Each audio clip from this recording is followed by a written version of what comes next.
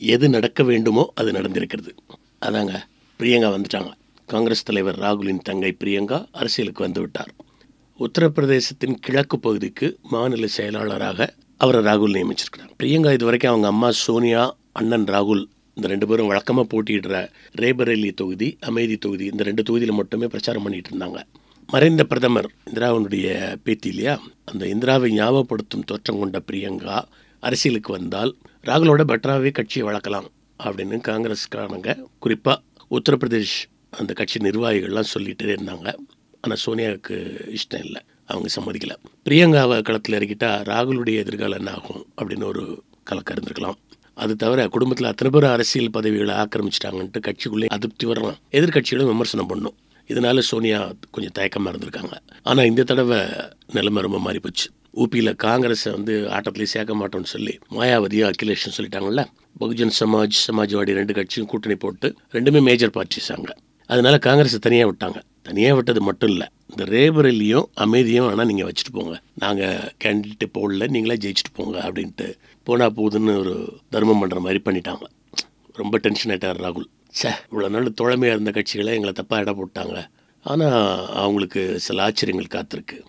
அப்படின்னு சொன்னார். ஏதோ சமாளிக்கிறதுக்கு தான் சொல்கிறாரு என்ன பண்ண போகிறாங்க காங்கிரஸ் கிட்ட ஒன்றும் கிடையாது. வெப்பன்ஸே இல்லை. அப்படின்றப்ப தான் இந்த அறிவிப்பு வந்திருக்கு. ஸோ அவர் சொன்ன ஒரு துருப்புச்சீட்டுங்கிறது பிரியங்கா தான் அப்படின்னு இப்போ தெரிஞ்சிச்சு. துருப்புச்சீட்டுன்னு காங்கிரஸ் நினைக்குது.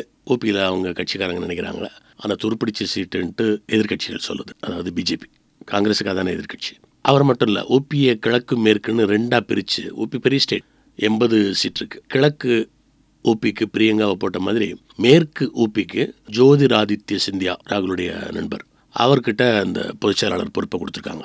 எண்பது சீட் இருக்கிறதுனால ஊபியில் ஓரளவாவது டீசெண்டான ஒரு தொகுதிகளில் வந்து வெற்றி கிடைச்சுன்னா தான் எலெக்ஷனுக்கு அப்புறமாவது இப்போ மதிக்காத எதிர்க்கட்சிகள் ராகுல தலைவரை ஏற்றுக்க முடியாது பிரைம் மினிஸ்டர் கேண்டிடேட் கேண்டிடேட்டை ஏற்றுக்க முடியாதுன்னு சொல்கிறாங்கல்ல காங்கிரஸ் தலைமையிலையும் நாங்கள் இருக்க மாட்டோம் அப்படின்னு சொல்லிட்டு தனியாக ஆவர்த்தனம் பண்ணிட்டு இருக்காங்களா எதிர்க்கட்சிகள் இவங்க எலெக்ஷனுக்கு அப்புறமாவது நம்மக்கிட்ட வரணுன்ட்டு காங்கிரஸ் எதிர்பார்க்குது. அது நடக்கணும் அப்படின்னாக்கா கொஞ்சமாவது அவங்களுக்கு மரியாதை கிடைக்கணும். மரியாதை கிடைக்கணும்னா ஊபியில் கொஞ்சம் சீட்டு வரணும். அதுக்காக ரெண்டு பேர்ட்டையும் சிக்னல் கொடுத்துருக்காராம்.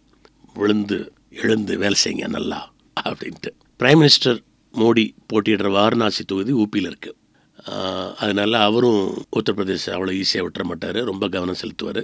இந்த இடைத்தேர்தலில் வந்து ஊபி முதல்வர் யோகி ஆதித்யநாத் அவருடைய தொகுதி வந்து எதிர்க்கட்சிக்கு போயிடுச்சு அதில் அவர் ரொம்ப அடி வாங்கி கிடக்கிறாரு. அதுக்கு பழி வாங்குறதுக்கு அவரும் துடிச்சிட்டு இருக்கிறாரு இதெல்லாம் பார்த்தா சரியான போட்டியாக தான் இருக்கும். மாயாவதி அகிலேஷ் ஒரு பக்கம் மோடி யோகி ஒரு பக்கம் இன்னொரு பக்கம் பிரியங்கா சிந்தியா ராகுல். ராகுல் அங்கே இருக்க மாட்டார்.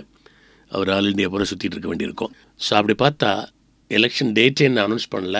ஆனால் உத்தரப்பிரதேசத்தில் மட்டும் தேர்தலுக்கெல்லாம் அதுக்குள்ளே சூடு பிடிச்சிச்சு. இது போல மேலும் பல செய்திகளோட அப்டேட்ஸுக்கு தினமலர் யூடியூப் சேனலை சப்ஸ்கிரைப் பண்ணுங்க. பக்கத்துல ஒரு பெல் பட்டன் இருக்கும். அதையும் கிளிங் அப்படின்னு ப்ரெஸ் பண்ணிட்டு ஃபேஸ்புக் ட்விட்டர் இன்ஸ்டாகிராம் போன்ற சமூக வலைதளங்களையும் எங்களை ஃபாலோ பண்ணுங்க.